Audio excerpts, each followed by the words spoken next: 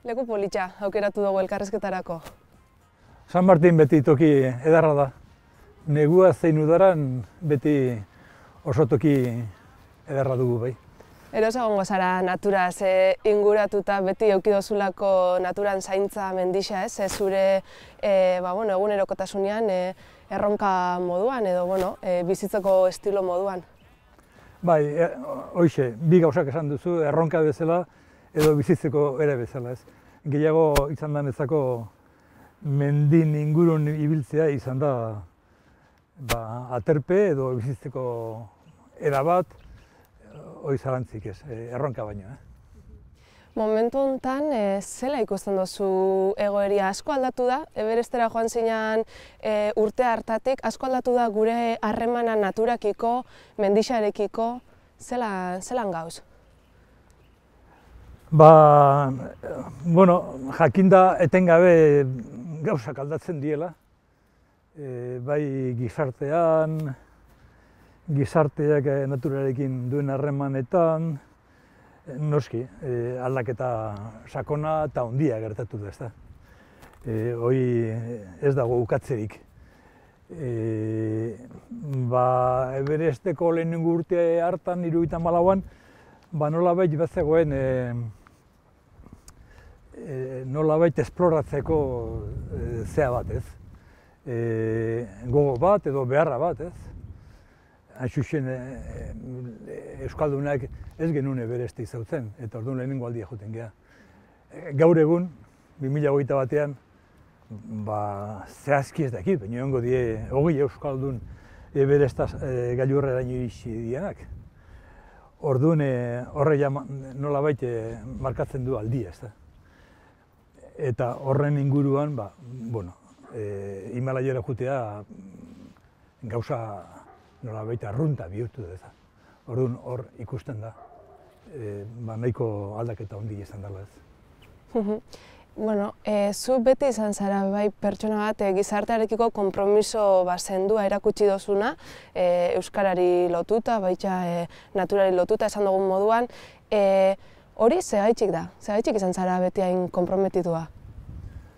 Bueno, e, ez da oso galdera, galdera hortan eh, nik uste eh, galdera asko daudela eta saiatuko naiz.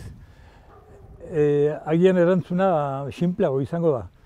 E, eta hain zuzen, esango nuke, e, mendizaleok e, oso sorte handia izan dugu. E, eta goimendiak mm, oso eskerronekoa da eta es, bizitzeko eskolarik onenetarikoa. E, ni moitzen hasi nintzela goimendia zela eta mendia onditara ara eta ona, ba, aukera izan nun, e, ikusteko planeta honetan hainbat e, kultura ezberdina zeudela. Askok, txikik, oso txikiak, izkutuan bizizienak, haundiak oso nabarmena dira, zen dute telebista eta erakusten dute estatu batuak adibidez, denok dakigu existitzen diela, baina e, xerpak existitzen diela, edo untzak existitzen diela, edo maputxek existitzen diela, edo aimarak eta hoien herri horietan duten kultura eta eta beste batzuk ondixeago baita, orduan, mendiak eman zidan aukera mm, e, planeta beste erabaten ulertzeko. Eta kultura txiki horietan, e, ederra horietan, handiak bezain ederrak, e, deskubritzeko. Eta orduan, moitzen hasi nintzela planetan ziar, kontuatu nintzen, ni ere, manuelen ere kultura propioa. Eta ni komunidade bateko e, partaide nintzela ez. Hain Euskal Herriko biztan lehen nintzela. Eta nire kultura e, ere txikia zela, handia bezain ederra, hizkuntza propioa nuela, eta hortikaren ba, sortzen da kultura ezberdinak ezautzea, eta hoien bitartez nire kultura ulertzea eta ezautzea. Eta ikusten duzu, ale ere, ba, zenbait utxune daudela zure e, nazio txiki horretan. Eta nik hortikanen, ari hortatik tiraka, ba, sentitzen dut beharra, ba, izkuntza aldeko zerbait egiteko, e, naziogintza mm, zerbait egiteko, gure naturarekiko zerbait egiteko. Hor kokatuko nuke, e, e, zera, e, joera hori ez, unamunok esan zuen abertzaletasuna sentatzeko honen azen bideiatzea. Hau da, abertzalezena kanporateazkio astuko zula abertzaletasuna eta nik gertatu zait kontrako ez. Bidaian hasi eta abertzaleago izan naiz. Hortaz, eh, nazioa, euskara, eh, mendia edo natura, horrek dira gaur egun ikusten dituzun erronka nagusi be bai, hortik hasi zinan eta gaur egun be horrek ikusten dituzu erronka nagusi moduan gizartean? Ba, bai, ba, nik uste toi gaina ez gurian bakarrik ez. E, e, nazio guztietan gertatzen dela ez. E, nazio bat behar du bere geografia, nazio bat behar du bere hizkuntza propioa, eta hortikena sortzen da bere kultura propioa. Ez, ez da bakarrik Euskal, Euskal Herriko e, arazo edo, edo konpondu edo hobetu behar den e, kontua. E, nazio guztiak e, horten, e, hortzen dute bere, bere erronkak ez. E, pensatzen dute urrengo urteak e, hoi areagotu ingo dela klimalarrealdia eta ikasi beharko dugula ba, bizitzen datorrenarekin. Ez dago beste, mm, e, e, estatuak edo ni bezalako personak e, e, eragiteko oso aukera gutxi dugu. Hemen agintzen dutena die e, multinazionala handiak, e, Amazoniako basoak ustiatu nahi dutena e, jotasu, e, eta indar ekonomiko handiak hemen peratzen dute planeta. Hoi, tamales, hola da, geota gutxio, gobernu daude haien eskutan eta ez dago oso handirik. E, gara, e, arazoa Euskal Herrien kokatuta, ba ere e, erabat eskorra, nahi izango dizut. E, gure basoak ez daude bere honen, honen ian. E, e, matarrasa bildurgarri horiek e, e, jarraitzen die egiten, badaude legeak, debekatu egiten dutela, alako matarrasak basoetan, e, ikus dezagun antzen du e, gure basoak lehen zienatikan e, aristegik, e, pagoak, e, pagadiak, e, gaur egun dena da edo pinudia edo eukalitusa ez. Eta e, hori ustiatu egiten da, dia monokultiboak eta jota zu. Eta horrek ekartzen du ba, luriziak eta arasok etengabekoak gurian ere egia esan e, dugun lege gutxi natura zaintzeko bete ere ez dugu betetzen. Orduan, e, ba, e, itxura txarra. Pensatuko duzu, nire de, ikusteko era nola baita ikusten dela itxaso eskor bat, eta oso eskorra nahi zela baino esan behar ditut, ni itxaso ezkorrotan baikortasunez nabigatzen dudala eta saiatzen naiz zerbait egiten natura eta kulturan alde. Hortaz, esan dozu e, ba, multinazional handixek edo e, botere ekonomiko handixek e, erabakitzen da bela, ez? Planeta honen norabidea zen izango dan, baina aldi berian, bueno, e, gure eskube badagoz, ezta? Gauza txiki batzuk eitxi, ez? Bai, bai, bai, eta mm, hortan diar dugu hainbat eh, eragileak ez. E, hemen bertan inguruan, ba, sortu da gauza bat oso politia, e, basoan alde, e, baso biziak ez.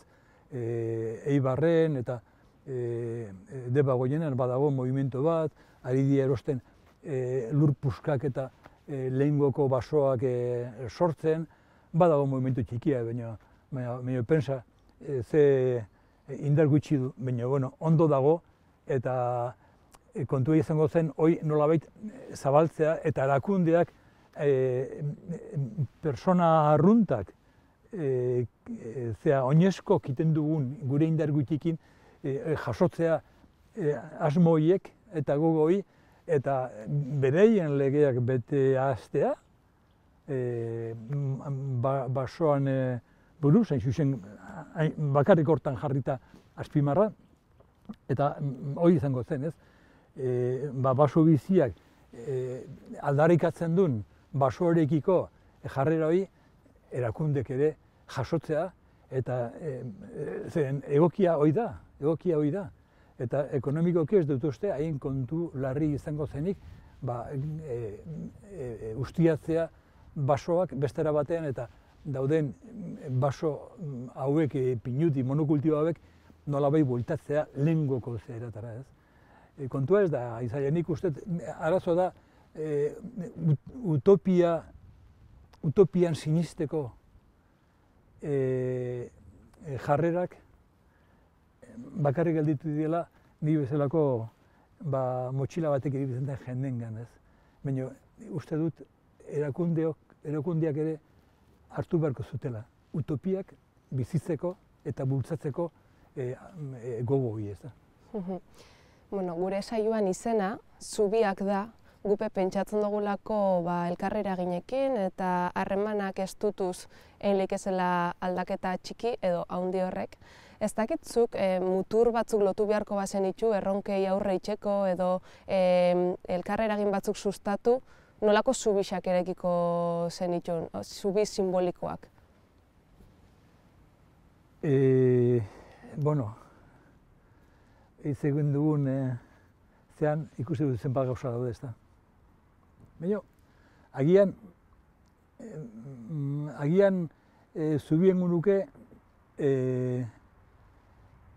izkuntza eta naturan artean. E, biok gure Euskal Herrin e, oso zetuta daudelako, ez? E, oso ikututa daudelako. E, natura galtzen dugun bitartean, e, hizkuntza galtzen dugu. Eta hizkuntza galtzen dugun bitartean ere naturarekiko sentimentua eta jakinduria galdu egiten dugu. E, oantzen e, egin dute e, bi lagun izugar eskolan ederra, e, aztertu dute Hernaniko inguruko ba, e, bai landareza, baso, basoak, hain bizi dien piztiak eta errekuperatu dute e, hainbat hitz galtzorian daudenak euskarazko eta badute e, bat giz, mutil bada zeintz azkue eta bestea da eniaut agirre. Lan ikare harri edarrein dute eta hor da biltzate.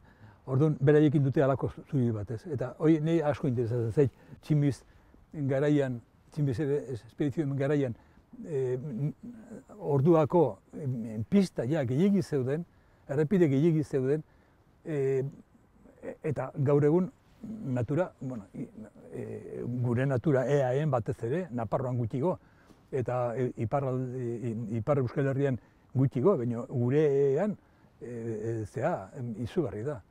Orduan, kaltetuto daude bi horiek, eta nik uste bi e, zubi erekitzekotan e, halako zubi bat ereki berko gendukela hizkuntza eta naturen artean. Eta bioen artean e, nolabait elikatu bat eta bestea ez da.